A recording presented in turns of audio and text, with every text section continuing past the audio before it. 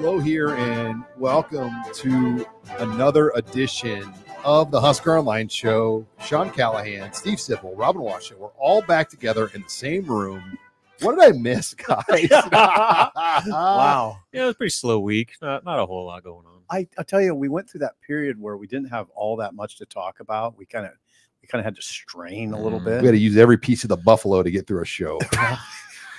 Not now, not for the foreseeable future, not probably until May. I don't have enough time in the day to put out all of the information that I've acquired over the last few days from basketball and Matt Rhule's press conference and everything. Like it's information overload at It this is. point.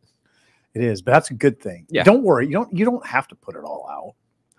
You have me and Sean. We'll And have I- opportunities. And I will say, you guys did a wonderful job, not only with the Trev Alberts stuff last week, but obviously Robin's coverage from Minneapolis was first class. And you were going to go, but we kept you back. Right. Um, just I did in, the gamers though. just in case another thing broke. But I, I had a family trip. We were in Yeah. Hawaii, um, and I'll never forget that morning, Wednesday, which was about 10 a.m. Nebraska time, 5 a.m. at Hawaii time. That hour, I you know I, I wake up every morning.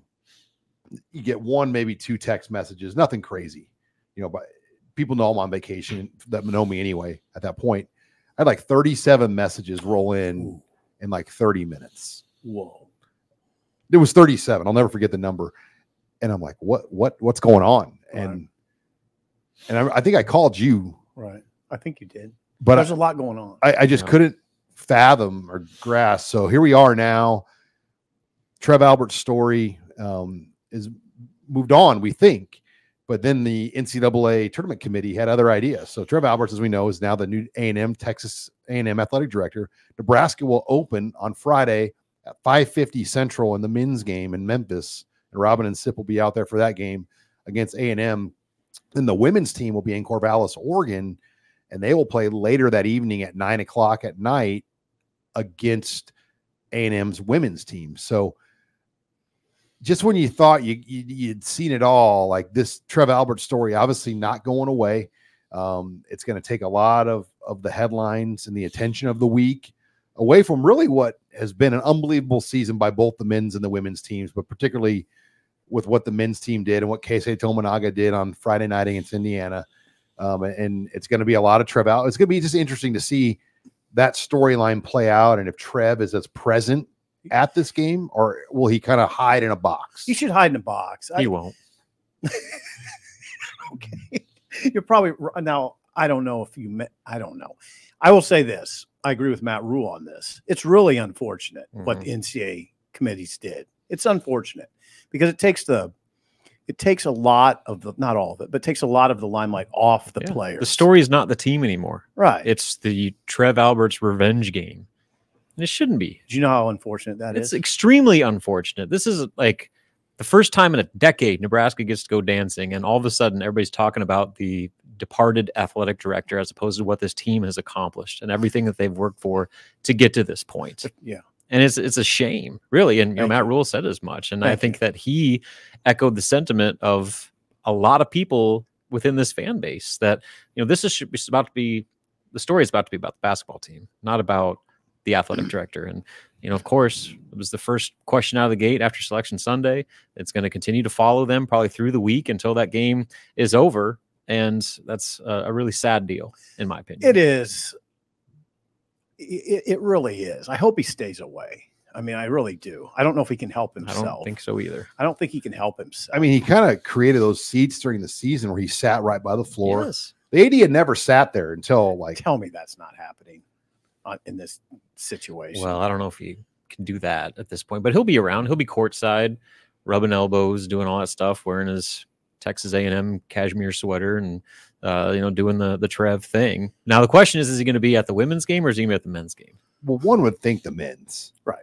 Because that's where your most donors are going to be and You people think. you'd want to meet. And And what I'm curious fair. about is if he does do that, and the expected flood of Nebraska fans that are going to take over Memphis this weekend, what happens when they see him down there? I don't think it's pretty.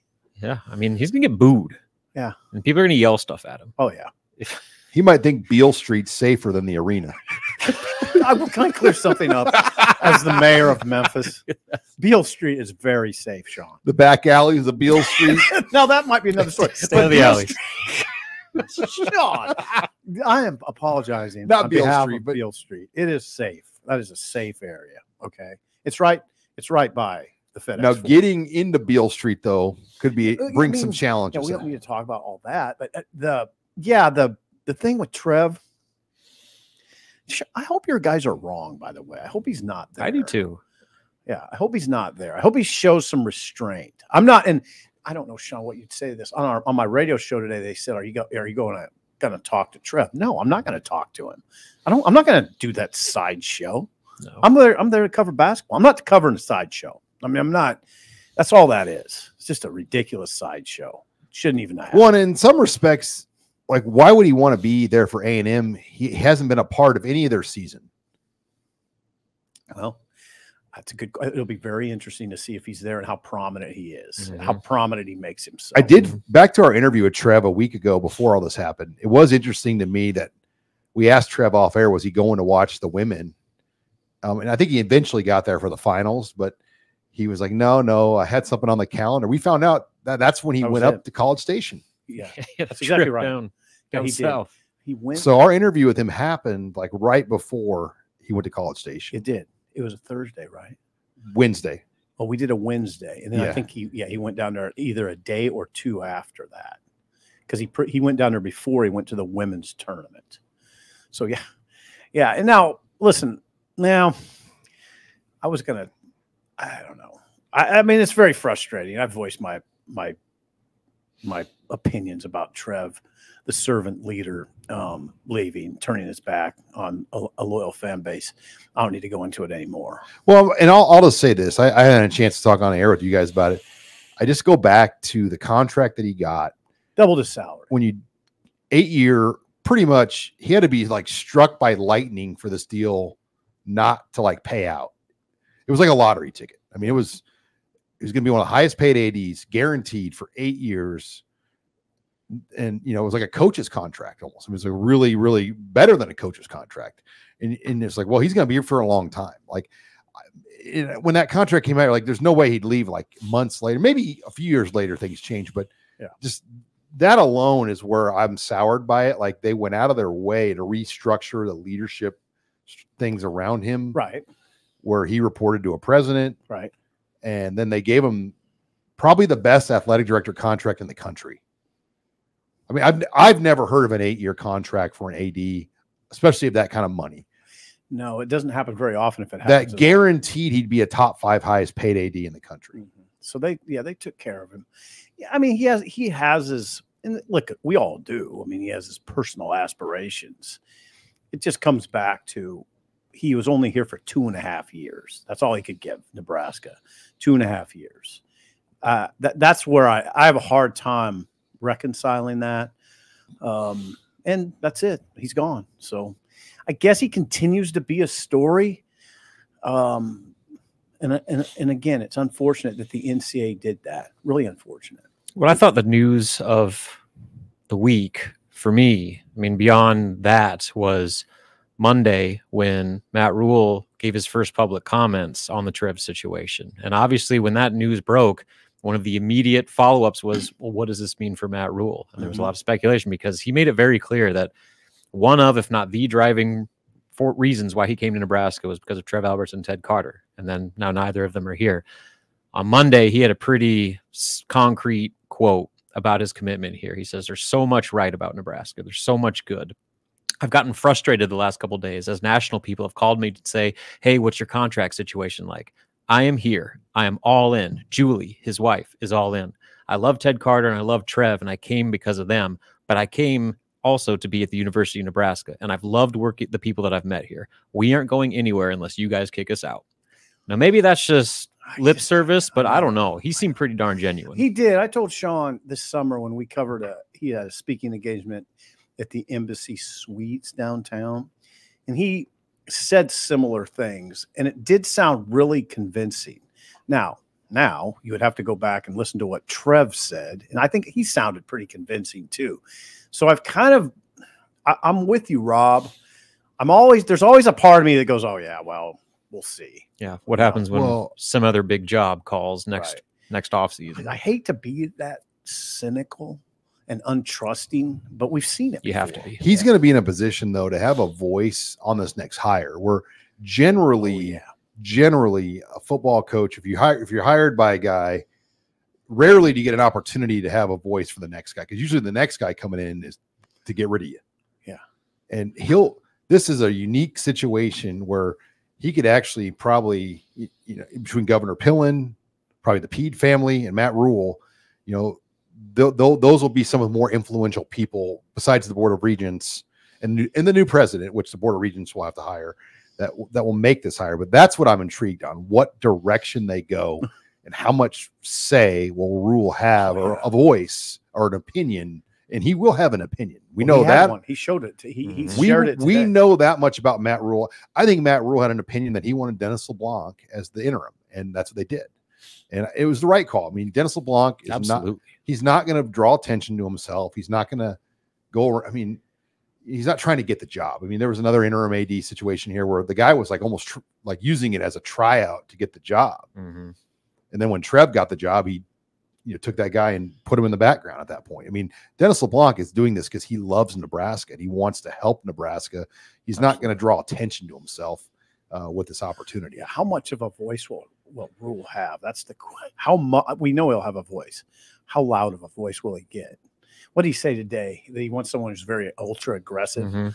Um, has to be a doer. Um, it, it because of the changing landscape. The, the landscape in college football shifts so quickly now um, that you have to have someone like that, very aggressive, um, vision visionary, like Trev. I mean, we now we we haven't critical of Trev on this in this session, but Trev was a visionary. He did move quickly on his feet. He always was fully aware of the landscape and how it shifts from week to week sometimes. So, I mean, and like Rhule said, the athletic department's in good shape. I mean, a lot of reason that's a lot of reason is Trev. Obviously, he's the was the head of it. All right, we'll pick up this Rhule spring football Trev conversation when we come back. Uh, you're listening here to the Husker Online Show, and we're back here on the Husker Online Show. Sean Callahan, Steve Sipple, Robin Washut, uh, talking March Madness, talking athletic directors, talking spring football. But before we get to that, this segment of the Husker Online Show brought to you by Ellerbrock Norris. Ellerbrock Norris has been helping Nebraska business owners protect their purpose for over 120 years with risk management solutions built for local businesses. Ellerbrock partners with you on commercial insurance, group benefits, business exit planning, safety, and more. Start thinking long term with your business and create a risk management strategy to protect protect it. Are your benefits costs going through the roof? Talk to Ellerbrock.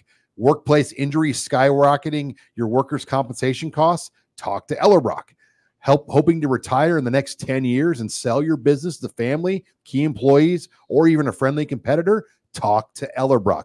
Ellerbrock Norris is helping you protect your purpose, whether it's your business and the employees in it, your life outside of work, or your future retirement goals. Head to ellerbrocknorris.com slash Husker Online to get your free risk evaluation today. Thanks again to Ellerbrock Norris sponsoring us here on the Husker Online Show.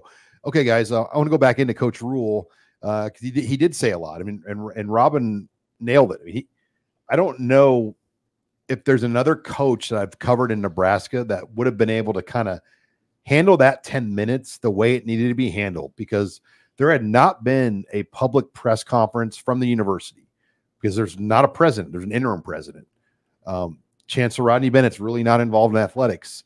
So nobody had really gotten up on the mic and spoken as a representative of the university until Matt Rhule did on Fred- Monday. Fred did, right? Yeah. Fred did on Sunday. But his wasn't nearly as expansive. No, like he got no. straight to the point. Brief. Yeah, he said that I'm I'm here. I love this place.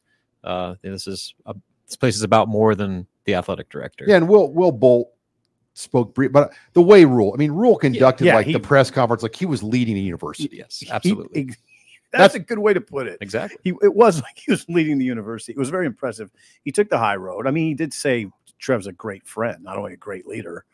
That that Trev and Angie, his wife, are friends, um, and that and he said that Trev left the athletic department in a better place. He was very complimentary, um, but but he was also very upbeat about the future, and and he did basically say, well, he didn't basically say he's this is a critical period. It This is a critical hire. The president's a critical hire. The AD is a critical hire because of the, uh, again, I keep talking about the shifting landscape.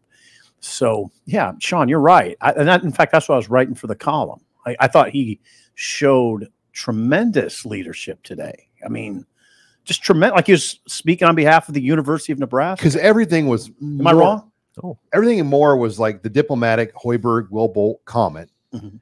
or I mean, you had Governor Pillen kind of fire off a, you know, a pretty divisive statement about the situation of about the region. about the regents Yeah. and their, uh, you know, and that that's what we don't know. Like, what's the holdup with the president hire? I mean, Well, now there's some. Inf- I mean, is there a holdup? I what I th- where I thought the governor was out of bounds was this is this president search has lasted 200 plus days. That's typically how long they've lasted, not only at Nebraska but other institutions. It's not. It's not an. It's not a unique situation. When they hired Ted Carter, it was 200 plus days. I think it was 216. 216. They, they've always been around. and Carter did work through Christmas. Yeah, so it's always been around that time, and I'm I'm just now I'm just merely parroting what Chris Dunker has written in the Lincoln Journal Star, but he said at other universities, if you look at the the hires of presidents, they're always 200 plus days. They have been, not always, but regularly. Yeah, I mean, it's a big position. Yeah, I I, mean- think the difference is though that difference, Bob. because of what you keep alluding to is the how quickly things are changing right now and for nebraska not to have permanent leadership at its two most important positions within the university and within the athletic department is a problem. It's and they need to address it qui- as quickly as they possibly can and they need to get the right people in place as quickly as they can. That's what Rhule's kind of whole message was is you know whoever we end up hiring we need to get somebody here that is going to be aggressive to keep nebraska at the forefront of this rapidly changing world of collegiate athletics to where you have to be able to adapt not just adapt and react to what's happening but get out in front of it and that's Mm. one of the things that made trev so good was that he was thinking about stuff before a lot of other people were when it comes to like player revenue sharing when Oh. it comes to stadium expansion when it like getting wi-fi through the stadium so people can have a more enjoyable game experience like these types of things that you know were in the back of everybody else's mind you need someone in that in those two positions to be in line with each other and be able to be forward thinking to keep nebraska at the forefront to where they are setting the bar Mhm. for everybody else because that is going to be the one way nebraska can compete with the way they're trying to catch up on the field, on the court, and all that stuff. That is one way Nebraska can stay at the top of the list when, it, especially when the haves are further and further separated from the have-nots. I'll Well believe the. Wi-Fi thing when I see it. Yeah. When there's a Wi-Fi network that can handle eighty or ninety thousand phones, I want to see it. so it doesn't handle it very well right now. Well, Pinnacle Bank Arena is a, a disaster. I mean, the, the Wi-Fi there. Is, And- it, is it is it trouble like when you're there? yeah, and even in my seats, I'm close enough to you guys there. I can get the press thing. It doesn't work for me. Okay. It doesn't work. Like it auto puts me into the press because I have the press login on there from football. Okay. And Interesting. yeah, just Because I don't have any trouble with the press one. I don't know. Do you? Some people do. I don't. Yeah, I haven't. I think if you're on a computer sitting there, you're fine. But yeah, some of that stuff will be the stadium project really fascinates me too because Why? how much is uh, done? Like how much money's raised? Yeah. How far along are things? So so Sean, they they're supposed to raise two hundred twenty-five million dollars. and then the other private- 225 is going to come from Nebraska. Right. Private donations are 225. So how much of that do they have? I know what I've heard, and I'm not going to say the number because it's not it's it's not really something I would report, but I would tell you, I'm not going to say a number, but I would tell you they have a long way to go, and there's there would be no guarantee that they could do it. None. There would not with what I've heard. No guarantee that they could raise the rest of the money. Zero. I mean, it'd be, in fact, right now, I would regard it as a long shot. I would be surprised if that project goes forward in its original form. And remember, they paid Nebraska Philanthropic Trust. I butchered that word, by the way. Not too bad. Um, 5.6 million to lead fundraising efforts, which is essentially about three times more annually than you pay your own in-house fundraisers. So if they don't do what they're supposed to do, do they still get their 5.6 million? I mean, there, there's a lot like that to me was an unheard of piece to this that you have your own foundation, you have your own in-house fundraisers, but yet you're paying someone another 5.6 million to fundraise. Where you know for the Go Big project, their in-house people led by Matt Davis at that time, they they raised all the money for Go Big. And it wasn't easy though. It wasn't easy, It but they didn't have to pay somebody 5.6 million to do it. Oh, we had Davison to do it. Um, primarily. I mean, Ronnie Green stood up in front of everyone and said this project doesn't get done without Matt Davison. Now, as far as that, if if people think we're being too hard on Trev, I mean, he left this monumental project before it got off the ground, essentially. He's the one who pushed for it. He had the vision. He's the one who probably was a little ambitious and hasty in putting it out. And then he leaves. Then he Mhm. leaves. That's what now that's why I don't like if you say Sip, you're being a little hard on Trev. No, I don't know if we're being a little hard on Trev. I mean, He wanted to build like a Wrigleyville around the stadium and a mm-hmm. hotel, and I mean, it- Right. it was going to be that- like a downtown district. right. We haven't talked about that. You know what that was designed to do is you get that university gets that money instead of the downtown vent like the Barry's and the other they don't they're they're trying to draw those people to their Area. campus to their area and then they get a portion of those nebraska gets a portion of those funds it happens the atlanta braves did that Mhm. Yeah, I've been to that. It's cool. Yeah but see Barry's wouldn't think it's cool o'rourke's wouldn't I think still cool. think that those places would have people at them. Yeah, I mean the the new places would only have so much availability. Like uh, it would it would you're be a taking hit. money though It would be a hit. yeah you're taking a hit It's not like you're going to be able to go to this if they built that new hotel they've talked about, like a you know Wrigleyville's got its own hotel. Like Rob and I, let's go have a two thirty game. Let's go let's go have lunch at noon in the in the hotel. Like I, I- I don't think it would be that easy. You know, like I agree. it's really interesting stuff but yeah, there's a lot there, and how much of those notes and information are going to be shared and passed on, like to the next person. I mean, like, what is the legacy? What is the outlook for this project? Will it get in front of the regents, or will we see an Ole Miss situation here, which is where Ole Miss tabled their project and paused things until they got a better understanding? And I asked Trev Alberts that question directly before we knew any of this stuff, Mhm. and you could tell he didn't really like that question. Well, there's other there's another thing you could do too is you could just scale back instead of being a 450 million to 600 million dollar project. 100 go to 150 What? million. Okay, my question is, what could you do just to address the South Stadium and make it better? Like that. That would be where I'd start. Mhm. Then Priority. It's a good idea. the bells and the whistles It's a good idea. come with it. Just come with get, try to try, try start with the South and do what you can with the rest, but make the emph- emphasis the South Stadium. Get it done. like our. ch- We went through a church deal where we had to fundraise and get a church built, and you know, like things like stained glass windows, like we couldn't do, like initially, because you have to. You know, the, the priority was build the church. Right. you know, get the church built over time, add the stained glass windows, add other artwork things, but build the church first. Like same with the stadium. They need they need that south address where there's one singular concourse. And is there a way to do that? There might be. I know this. When we went to when Oklahoma State redid its stadium, I thought it was ridiculous. They had like marble floors. When you went to the restroom, you thought you were in a casino, and I just thought this w- this is not what you need. I mean, I don't need to feel like I'm in a casino. Maybe Texas, some, remember Texas Tech was that way too, though, how nice theirs was. yeah, maybe yeah, maybe some people feel that way. But if if uh if Nebraska's winning 12 games Yeah. a year, you don't care if you're peeing in a trough. I mean, look at I Penn mean, State Stadium. right. I will say though that Yeah, you need this. to you need to be at least with everybody else in that regard. Like you can't have the biggest dump stadium in the How about close to everybody?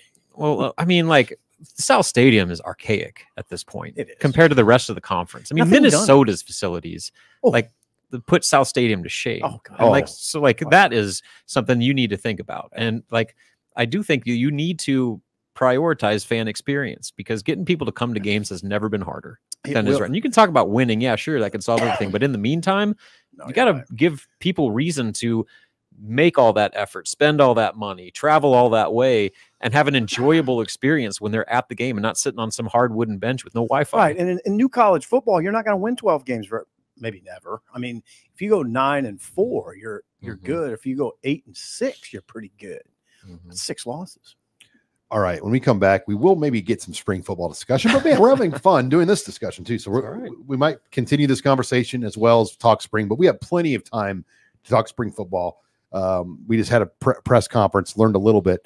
Uh, we'll hit on that next. You're listening here to the Husker Online Show. And we're back here on the Husker Online Show. Sean Callahan, Steve Sipple, Robin Washut, as we continue our uh, Matt Rhule, Trev Albert, spring football discussion. Before we get into more, this segment, Steve Sipple of the Husker Online Show, brought to you by LarsonMotorGroup.com. If you're looking for a new vehicle, go for a new experience at Larson Motors in Nebraska City. Take a brisk drive today. Larson Motors is one of the Midwest's only dealerships with all the major brands in one locale. Finding your new Chevrolet, GMC, Hummer, Ford, Chrysler, Dodge, Jeep, or Ram never has been easier. Start your new experience today at larsonmotorgroup.com. larsonmotorgroup.com or at Larson Motors in Nebraska City. Larson Motors. What do I say every week, Sean? Real people, Real. deal. I don't know why. When you read this ad, He's like, still on Hawaii. do you guys remember the um, Lane Kiffin Florida Atlantic Owl season ticket commercial? Yes. He's like, that, that's what you remind me of doing this Larson Motor ad sometimes. Bring your power towel. Listen up, Bring Owl it to Nation. every game.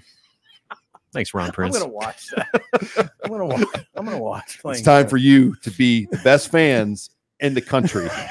Let's make Florida Atlantic special. Owl up.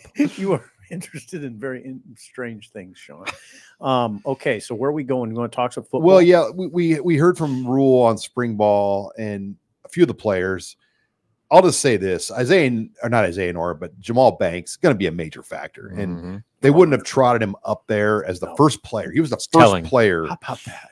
they brought up to speak. Yeah, how about that? But you think about this offense, there really is not a lot of established people returning. On the O line, there is, and then technically at tight end, there is with Fidone. But there's not, I mean, there's not really an established like running back that's carried a big load for Nebraska. you know what? We've never got into something that Rule said about the receivers. He's never he's never verbalized it the way he did today. He said they were okay against zone coverage, not against man. Mhm. Sean, you, you Rob, you played basketball. Sean, you played basketball. I played basketball. Man to man was a bear. When Jerry Godowski came out and guarded me one man to man, Fremont versus Columbus glory days, it was a bear. I was I, I wanted to see Fremont in a zone. I didn't want to see Jerry Godowski in my face all day. Um, you got to have dudes that can beat man coverage. Mhm. That's one of them. And it goes back to your constant gripe about small receivers that sure they're shifty and they can get in out of, out of routes, but what happens when you got a first round corner right up in his face, bullying him off the line to where he can't even run that route? Right. That happened way too often in Ah, Nebraska over the years. It's not so much a gripe. It's just it's just unrealistic to think you It's can a win like that. It's a gripe. Okay. It's a gripe. But that's that's exactly the point. And then you look at the makeup of this room; Mhm. they are Look at that dude so much bigger, Look at the guy so much stronger, so much faster across the board that they're they're going to be able to hold their own now in man to man, or at least at least a whole lot better than they were. Look at Megan. Just look at the dude standing there. Mhm. Looks like Purify standing there. Remember Purify? Oh, his shoulders are huge. you remember Mhm. Maurice by chance? I do. You think he could operate against man to man? sure could. Well, could. Neyor's bigger than Banks. Neyor's bigger yeah, than that's Banks. the thing. like you, that's Neyor's bigger than Banks. Yeah, They're- they're- Neyor's got a seven foot wingspan. those are prototype Big Ten wide receivers. Nebraska finally has those guys now. They got multiple guys like what that. excites me is when they throw like those bubble screens out on the perimeter and you have those guys involved in edge blocking of those little teeny corners. Mhm. Yeah, I It's going to set up. I mean, I'm not saying you're going to get like touchdowns, but you're going to get some really healthy plays on those. But hey, you get Jaylen Lloyd out on a bubble screen with those two dudes blocking in front of you, with Fidone out there kicking out. Like, look out, helps. look helps, out. helps. yeah. That's how you set the edge. That was You know- interesting, wasn't it? The rules said. I thought it was interesting that he said that. It's not just man to man. He, he identified some other coverage that they weren't effective against Quarters. quarters. Good job, Rob. So, I mean, that was a revelation to me. That was a revelation. Well, 23 newcomers here for Yeah. spring, which mm-hmm. that's going to be kind of the norm every year, I think, for the most part, because as signing day has moved itself up, as long as you're in good academic standing. I mean, there are two guys that essentially don't enroll early, or a few, a few groups of people. If, if you're not in good academic standing and you have to go another semester, that, that's an easy why you're back at school. Or you're a spring sport, winter sports guy like a track or a basketball player, and Or baseball. Or ba- not necessarily baseball, but um, That's in the spring, isn't it? it could be, yeah. I'm, I'm saying because baseball, uh, like basketball season, could be a big for a high school kid. He might want to finish it out. And in Carter Nelson's case, he wanted to do track too.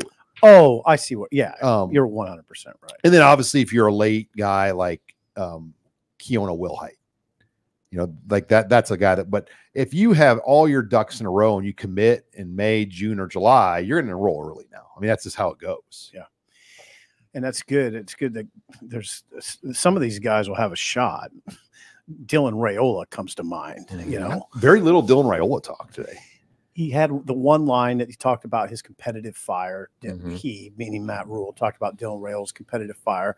Danny Kaelin, he he said, just is glued to the job essentially that he's just wants to learn and learn and learn and they even ta- he even talked Rhule talked about Haarberg's high elbow his elbow if you notice sometimes it'd fly up a little bit um so they're working on that but yeah there hasn't been much talk about dylan and That's good. I think it's intentional too. do you do you Well, I mean, like, there's already so much pressure. Why are we going to go out there and like sit there and just praise him and put him up on the uh, pe- even bigger pedestal at this point? Just potentially set him up for expectations that are too big. Yeah. And so I think just just let him do his thing.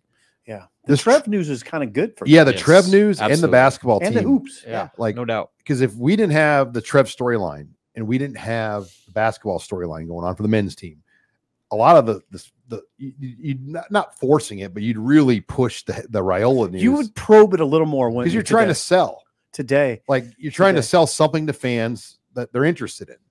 today And right now, fans are interested in Trev Alberts' news and they're interested in the basketball. yeah we would have went over there today to probe a little bit harder on dylan not Mm-hmm. that we would have overdone it but yeah you would have you would have tried to get a better feel than just one comment on dylan I think that's so much healthier for everybody, including the football team, when that magnifying glass isn't directly shifted over to football as soon as the basketball season. A lot of times over the last decade, that magnifying glass is already on football even before basketball. In February. Yes. Times even earlier than that. Um, so just to have that, I wouldn't say distraction, but but something else to capture people's attention. I mean, the, the Trev stuff aside, but just the winter sports in general. Yep. And and Rhule talked about that, like the women's team, the men's team, wrestling, and and just all the the success other sports within the athletic department are having. I think has been so good for football because now they can just operate like a normal football team, He- not not the end all be all savior of an entire fan base. that's true and also you use the word relevant I mean, it Mhm. makes the athletic department more relevant Sure.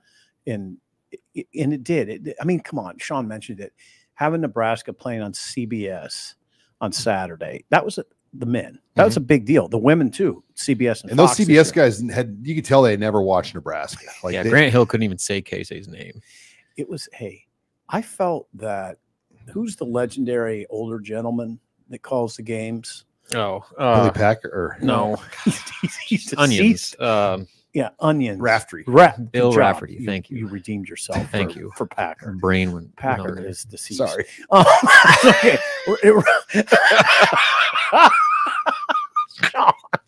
Anyway, I didn't think he was prepared. I don't. It's like he didn't prepare for the game. Yeah. I, mean, it was, I was like, "There's some things he should." Yeah, like he made a com- okay. This is a really bad one he made. Okay. The He was talking like Nebraska history, and he goes, "They haven't won this many games since 1991, and I believe Tyronn Lue was on that Right. team." Good And I'm like, example. and I'm like, So wrong, Tyronn Lue was in grade school, Right. Good, that no, that's a playing. really good example. wrong and wrong. Yeah. like that- you. You really just threw example. Lue out there on a, on just a hail mary. I mean, Tyronn Lue was like a 10 year old kid uh, Right. when that team was playing. We don't always prepare perfectly either, but yeah, it was it was pretty evident to me that that he didn't prepare for that. broadcast. Well, Not very hard. CBS airs a lot of Big Ten games. He's involved in those games. They never put Nebraska in those games. Right. It's always the you know even a bad Michigan team or a bad Indiana team gets to play on CBS before Nebraska does. But anyway, yeah, Rhule appreciates Nebraska other Nebraska's other sports being in the limelight. Be- One reason he says relevancy. It's we're more relevant. People talk to him about the football. Other football, you know, recruits talk to him about it. It's a talking point. Mhm. All right, when we come back, we're going to take your questions in the mailbag. Abby Barmore is um, gone on a vacation, so I will be handling the mailbag, guys. So be patient with me. I'm not Abby, um, and I'll come back with more. You're listening here to the Husker Line Show. Back here on the Husker Line Show, Sean Callahan, Steve Sipple, Robin Washut, talking mailbag time. And as I mentioned, Abby Barmore, I think she's. I don't. I wonder if she went skiing. I think she's in Colorado Skiing. or just a getaway. She's on a trip, so. Um, I'm going to do, do my best to be Abby. I'm not Abby. I'm just going to tell you guys though. No one is. Um, but mailbag question Abby. number one from Maurice Allen. Can either the men's and women's team make it to the second weekend? Well, I think the women's team have a great chance, guys. I mean, they're a six seed. Mhm. So their their path to the second weekend is to get through a three. Okay. Now the mi- Robin on the men's side, It's what are their ex- much more difficult. odds against Houston? I think it's probably a 50-50 against uh, Texas A&M because A&M is really hot right now. Uh, Nebraska was the highest two- eight. eight seed and They were the highest eight. seed. highest eight seed. So they were just uh, right above the line to be a seven. Oh wow! I know, which Wow. crazy. And then Texas A&M was the second highest nine seed. So they were right on that line too, of potentially being an eight. So that I mean it's it's a coin flip game like those eight, nine games Sure. usually are. So I mean that in itself makes it decent odds, but then you look ahead to the next week. Houston, Houston, I think when they play, like their ceiling is probably the highest of any team in college basketball. Just because of the way that they defend. They are absolutely relentless. And when they are dialed in defensively, you will not score on them. Great. Yeah, that'll be tough. There's a good Kelvin Sampson Hoiberg storyline there because obviously Hoiberg was playing at Iowa State when Sampson was the coach of Oklahoma, correct? Yes. Well, I'd have to put that together in my head, think but so. that seems about right. Yeah, Sampson was the coach there for a long time. Yeah, that seems like about right. As far as A and M, goes, would have been Billy Tubbs. I don't know. I don't I don't know Billy Packer. We'll have to figure that out later. um, that, I would say this about Texas A and M: their ceiling's pretty high, their floor is pretty low. I mean, they Mhm. but they have they have wins. Texas A and M has wins this season against Iowa State, a two seed, Kentucky, two wins against Kentucky, a three seed, and a win against Tennessee, which I believe is a two seed. They have wins against Iowa State, Tennessee, and two against Kentucky, so they can play. Now they they've also had some bad losses, so they're they're and you know they're a guard or their, their best players are guards. They have Right? a good coach. They have one good guard, and their be- their front court is their strength. Is They're it? the number one offensive rebounding team in the country. They miss a lot of shots. They miss a ton of shots, and they're the worst three point shooting team in the country. Ooh, One of. Ooh, So they're a team that it's like a mixture of Indiana and Illinois in the sense that they rely on their bigs. They don't shoot three pointers, but they crash the glass on every possession. Are an extremely physical team and full of athletes. So it's kind of kind of like a kind of picture a hybrid of what Nebraska saw on Friday and what they saw on Saturday. as far as Houston goes, now they did get boat raced by Iowa State in a Big Mhm. 12 tournament. They're a, they're a weird team. That's why I say their ceiling is as high as any team in the Yeah, country. But they, when they don't bring that defensive intensity, they don't have the offense to make up for it. God, you would think they would bring it to the. You would NCAA think. tournament. You would think. No, and they're. I, I mean, I've talked to Doc Sadler about him. Doc's at Kansas, sees them. I mean, Houston in its first go round in the Big 12 won the Big 12, toughest basketball conference in the country, and they are, like you said, they're long and athletic, just kind of like you'd expect. Don't they? Don't shoot it well. It's amazing that Sampson at his age still has this kind of like juice, like Yeah, that he can build teams. Yeah. That was, Yeah. I mean, that's who Indiana had to replace Bob Knight, Bob Knight, right, Rob? I mean, he was like one of the first, one of the guys. Yeah, first, first. Mhm. I don't remember the chronology on that, but he was up there. was he before or after Mike Davis? after. Yeah. Was he after Mike Davis? I can't remember. Yeah, with Mike Davis, then Sampson. Okay. and Sampson got him up to number one. Mhm. Yeah, And he got fired for making phone calls, too many phone calls. impermissible phone calls. Yeah, impermissible phone calls to recruit. Remember when that was a thing? Yeah. But Now you're cutting million dollar checks. Yeah. all right, let's um take it to the next question because uh, this one kind of got my attention. It's a good one uh, from Jason Page. rank and order the most despised: Steve Peterson, Scott Frost, Trev Alberts. Peterson, Alberts, Frost. That's what I was going to say. Um, Peterson, Yeah. Alberts, Frost. Yeah, I agree. Peterson, he's the one that kind of like the ultimate villain. started it all, the downfall of Nebraska. And so, like, I don't think that there's any question Right. there. No, you're 100%. Frost was more just disappointing. You know, the fact that it was built up to be this golden boy savior comes home, I'm going to save everything, and then it was just a We have. Frost 3 on Husker Online. Frost 3, Alberts 2. Yeah, Yeah. So that's what I'm saying. So Okay. that so Trev for me is two. Yeah. just because of the betrayal. In the U, I aspects. mean, I I, The I think that betrayal. the UNO That's the angle feeling. too. with Yes, I know it is. No, I, I, I that's a good word. Betrayal. cutting wrestling and football UNO still. I I I I add that to the and like, how he did it I mean they won the national title and he called Mike Denney that night that night. and cut the programs. I I mean, hey, good job. Your program's done. like in the history of history, that's never happened. I don't think. It, I would hope not. Can't be much precedent. but for they were so they wanted to go Division One, Yeah. and they had it. They had to. You think you could have waited They couldn't be in three hours. league. They couldn't be in three. Um, Overnight. over? They couldn't be in like three Division One leagues if I'm if I'm not mistaken. Like you can't do that. I, there's there was something that kind of uh, long. We're not getting into that, but yeah, Yeah. I- I, you know what? Rank and order the most despised. So we all agree it's Peterson. Peterson, Peterson, Alberts, Alberts, Frost. Then, Frost. then I would put Harvey Perlman fourth. Mm, Harvey Perlman's fourth. mhm. yeah, and like Rob said, I don't think people hate Scott Frost. It's just more like you're Disappointment. The disappointed how disappointment. wrong we all were. Yes. That, like that era, like so much hope was placed on him, and it just never amounted to anything. And he didn't really ingratiate himself That too, much that to the fan base. Never did. Never really tried. he was like that as a player too. Sure. Like like even his opening presser when he basically like went after it was it Dirk just basically said, "Stay away from my he family." did go after Like Dirk. I just that was a bad move. It was a bad look. Like don't do that. Like Yeah, you know was very aggressive. like it wasn't at the podium. It was off Mhm. to the side, but I was standing there. It was a very aggressive. You stay away from my family. but he was kind of a new person in power that as a media guy, you know, he's not going to be any- go anywhere for a long time. You can't challenge that. Right. Just No, like I when agree. Pelini came, he he cussed me out a couple times for no reason. I'm like, well, I can't. It's new coach. I can't really, Yeah. like fist fight Bo Pelini here. It'd been a good fight, though. I mean, are you ready? Would you be ready for that? Bo was more bark than bite, wasn't he? Yeah, he's yeah, one hundred. All right, let's uh take it to number three. Um, let's see. Come on, Abby. This is from Jordan. Do you think eventually the conferences get so big that they go back to regional divisions? I'm gonna say no I'm going to say I hope so. And why are you saying no? because they want schedule equity. yeah, it's just gonna be like a professional model. And I, I don't think you can have equity Yeah, that's a good, good, good, good point. because Penn State, Ohio State, and Michigan Right. are just going to cannibalize each other every Right. year. Yeah.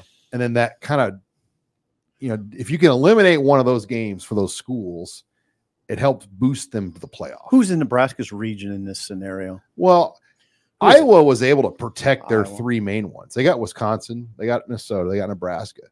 Um, Nebraska was only able to get Iowa protected. Mhm. So you, your Nebraska's region would just it'd be kind of back to the Big Eight, back to the to the West Division of the Big Ten, right? Is that what we're talking about? Yeah, I mean, I think it would. I think it would. it'd be a nice little safe harbor. Well, it'd be Minnesota, it'd be Iowa, and Nebraska Wisconsin. could use that safe harbor. but I, I like the idea of going west. I mean, I, th- I think playing those four Western teams is a good fit. Yeah, I do too. You just had a great answer to that question. Mhm. Scheduled equity probably it probably precludes it from happening. It probably precludes it from happening. All Good right. job, final question. Sean, are you loading the horse trailer for Memphis? All right. I will say Steve Sipple is the unofficial Husker fan expert of Memphis. I You just went to Memphis. Yeah, Yeah. so FedEx Forum is just like I mean, I mean literally like I'm going to say a block from Beale Street. Mhm. I mean, so go to Beale Street. Hey, It's very safe. I've been asked like 25 times Where's already on Twitter. What's what's the Husker meetup bar? What I bar? have no what bar would you All recommend? I'm going to say all of them. What's- I, What's the best spot I don't for have, Nebraska fans to completely take over and plant the flag? I don't have that because I don't think it's on Beale Street, Rob. Mm. There is a bar. I will say this. I can't say the name of. Oh, I could have a place here. I might have a place. Here we go. If you go to the Peabody, um, right, ac- right across the street, caddy corner from the Holiday Inn, is a n- nice sort of bar eatery. It's not real nice, but it's do they have it's Busch Light? Oh, yeah. What Okay. what is the biggest like pregame gritty. bar though for a Grizzlies game? That's probably know. the best. Yeah, to That's figure probably out. I have no idea. I'll on do that. some research. Like what? It, I mean, there's got to be like a multi-level. Just this is the bar. If you go to a Grizzlies game, you go to before the No, game. because in Minneapolis, Lions Pub is like the Husker bar in Minneapolis, and I tried to go there after the game uh, oh my god, on Friday. Saturday, and like you couldn't even get in the door. Really? It was packed, not a single seat available. So when Nebraska fans have a home base in a situation like this, they absolutely absolutely swarm it. So we got to figure that out. I'll do Yeah, some research. do some research. But I, you know, I mean, the key is you, there's a lot of places to stay downtown. There are areas you want to avoid, as Sean referred to earlier, and you have to be careful because they are right around Beale Street, uh, and you have to mind your p's and q's. I was told by a You're not walking around the streets of Hastings here. no, no, and and I imagine now I'm just going to keep it at that. If but it but the FedEx Forum is right close to Beale Street, so a really good setup. It's it's actually perfect. And the FedEx Forum, by the way, is a great place to watch a game. And it is really nice. There's Really probably 20 downtown hotels within a mile of the of the arena, nice.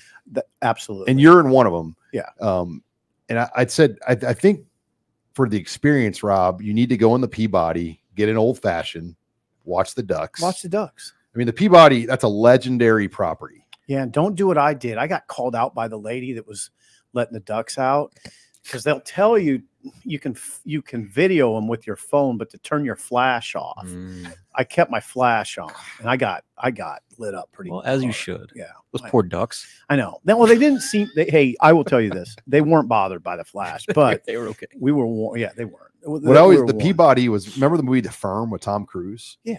And like that's where the Chicago mob when they came in to like That's meet, where the Peabody. Yeah, that- that- that's where they stayed. they- at they- Peabody. yeah, that's where the, the mob stayed. We're. I'll tell you one thing. A lot of people are asking me, "Are you guys staying at the Peabody?"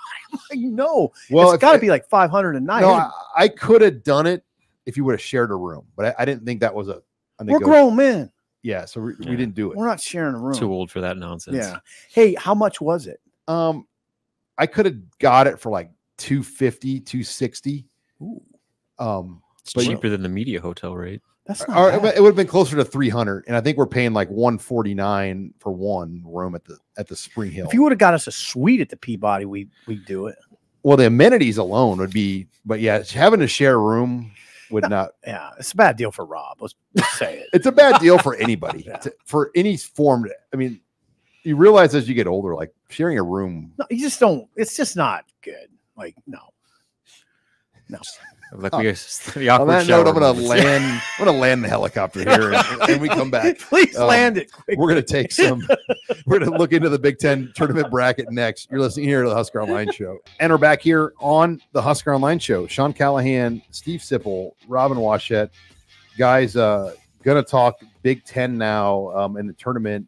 Uh, we've hit a lot about Nebraska, Robin, but you know the, the league is is definitely set up. It appears to at least have two teams make the second weekend.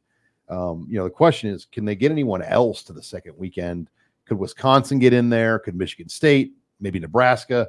I think Northwestern of the six is probably the biggest long shot. Um, I, I mean, if, if- I don't know if you guys agree or disagree on that, but um, you know, there, there's some intriguing matchups for the Big Ten. Rob, Yeah, it is. And what I will say is that when it comes to March, never bet against Michigan State. Like as rough as their season was this year, like this is always their time to shine. I think 19 and 14. Uh, yeah, I can't remember the record. Yeah, it's, it's Rob. It's either 19 or 13 or 19 and 14. And 18 and 13. Okay, they're overseas. So they're a nine seed, That's, and then they they, got, shouldn't be but they got. Mississippi State, which they're just a bunch of athletes. Like they can beat Mississippi State. And then you got North Carolina, who as a one seed, Mhm. They're not playing that great right now. So I'm just saying, like, I think that Michigan State, Okay. as always, Okay. is a team that as as maybe mediocre as they were in the regular season, you have to like their at least their their Okay. chances to go further than maybe any team in the Big Ten. Northwestern to me has the toughest draw. I mean, is number one. Florida Atlantic's a Final Four team. I know they didn't play well, but they have everybody back from a year ago. That's your first game. I'd say Then- Nebraska's is up there too. and then then you play Brooklyn, or th- then you play Brooklyn against po- probably UConn. UConn. UConn. Yeah, no, nobody's Brook. No play. No You don't play the. There's no Brooklyn. Um, You're playing. You're playing UConn and Brooklyn, Right. which is well, no, which is like less than two Forget hours drive Yeah. from Connecticut. forget it. Yeah, UConn is a pop. That, well, they're the they're the highest one seed. Mhm, And They're the highest one. seed. Northwestern won't have that many traveling fans. mhm. UConn will fill that arena, Yes. Really hard second round if they make that far. and I'm sure those East Coast UConn fans are real friendly. No. Yeah. How about Dan Hurley? That guy is something, isn't he? Mhm. He's on a roll. Yeah, he is. This Creighton escapades and then basically tr- fighting Shaka Smart during the Big East tournament. I didn't see that. What was the deal there? Well, they're the two most animated and in your face coaches during games possible. And they were basically just trying to outdo each other about who could be more obnoxious. They're both very good at that. They by the are. way. And a It's lot, like of, a modern. a lot of other coaches do not like them because of that. It's like John Calipari and uh, John Chaney. John Chaney when they got into it back in the day. Wisconsin's got a tough draw too. They got James Madison in that 5-12 game. James Madison beat Michigan State this year. They're a good team. Yep. And Wisconsin, I mean, they played well down the stretch in the Big Ten tournament. did. But you just got to wonder, like, do they got enough juice in the tank to get past that game and then play the winner of Duke Vermont? See if they get to that second round, they can definitely beat Duke if it's Duke. I just So worry about that James. Madison game. Yeah, that's it. That's it. Hey, Wisconsin got an interesting draw. They got to mm-hmm. get back past, past James Madison. Wisconsin did start to play well. They start. They sort of earned the seed. You know. Well, especially defensively, they really turned it up. And AJ Storr, Oof. he's becoming a star. He already was, but Yeah. like Ooh, he'll be preseason first team All Big Ten next he- year he- no, without Sean, We always talk about NBA guys. Storr looks like an NBA. He's guy. a dude. And Chucky's back another year, right? Mhm. He's- Mhm. He played well in the tournament. Feels like Chucky Hepburn's been at Wisconsin for 10 years. Yep. Yep, it does. I think Illinois has got a exceptionally good draw. Okay. They got Morehead State. Okay. They should win that one easily. And then they play the winner of BYU Duquesne. Hmm. BYU won in Allen Fieldhouse, so they, they beat Kansas. They're a weird team, though. They're a team that totally manipulated the net. And like we're always like top 10 nationally in the net rankings. I don't know. How they manipulate the net. the they just found a way to win by enough points and like do do do all the things that score you points in the net. And so they're good, but I don't know if they're they're good enough to beat Illinois. Wow, Illinois. That would.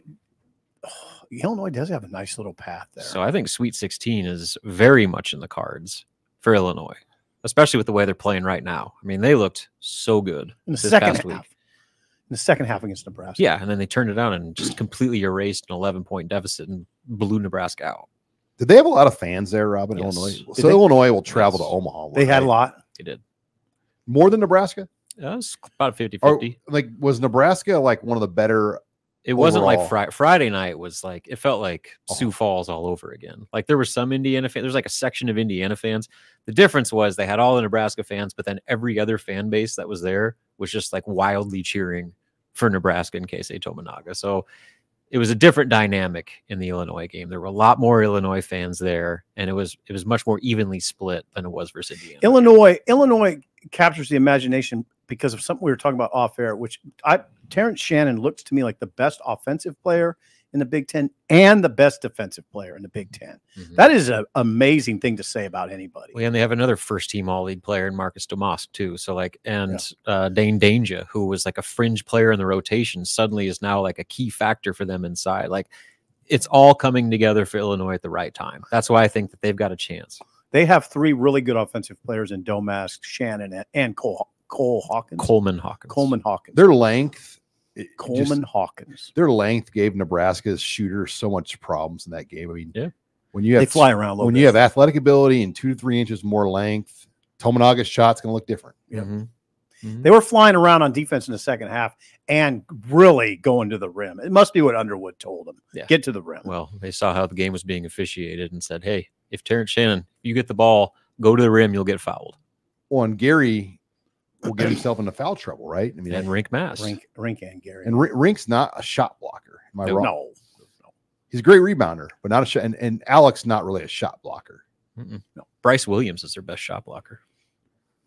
Yeah, that was a great block he had on the It's back. become the norm. Now, do you think Minneapolis was this kind of a one-stop deal where they'll get it? I think it so. like the, the- kind of like a Washington D.C., New York City? Yeah. deal? So um, Andy Katz did a thing where he listed off all the teams that have put in bids for like this next cycle of conference tournaments, and it's the usual: Indy, Chicago. I think Minneapolis did it again. Um, there were some other ones that didn't make any sense whatsoever, but like Des Moines. Las Vegas, I think is going to be one that eventually gets it for at least for a year. Um, I'm going. yeah. So like the odds of it coming back to Minneapolis anytime soon. It's like a one out of ten year. Type Yeah. deal. Yeah. So that they'll the Chicago and Indy will probably get it most years four out of five years. with with a different location kind of sprinkled here and there throughout. like I think what you do is you rotate Chicago, Indy, and then have a middle team in there, then Chicago, Indy. Like Madison Square Garden will never happen again because they had to move the tournament up a week. yeah, then Big Ten will never do that again. That was awful. this event itself was cool. Like I, I went in there with really low expectations, but it was awesome. I mean, Was it's, it's the garden, you know. And Wa- did you go to Washington D.C.? no, I skipped that. that one. was the year we didn't go. Okay, yeah. Nebraska was not very good, and uh, but the the garden was awesome. Like even the the you would walk around New York and you wouldn't even know there was anything going on. Like there may have been like a sign here and there on a street post, but like there was zero branding for the Big Ten tournament. But once the thing got rolling and you got into the second day, third day, fans showed up and just that venue, it was awesome. But to sacrifice being that final week of the season, the Big Ten loves that spotlight. They love being the last game before the selection of the show. day before Selection Sunday. All right. All right. Well, g- good show. Uh, we will have headlines as well later this week uh, before Sip and Rob fly off to um, Memphis, and there'll be a shoot around with media access in Memphis on Thursday. That'll be their next opportunity to talk to Fred Hoiberg. But we'll have one more show uh, before the guys hit the road. Uh, and remember, if you're not a member of Husker Online, we got a great deal. Uh, follow all the news of the AD search, president search, all the basketball news. Promo code NU1 gets you two weeks for $1. That's promo code NU1, two weeks for $1. For Steve Sipple, Robin Washut, I'm Sean Callahan.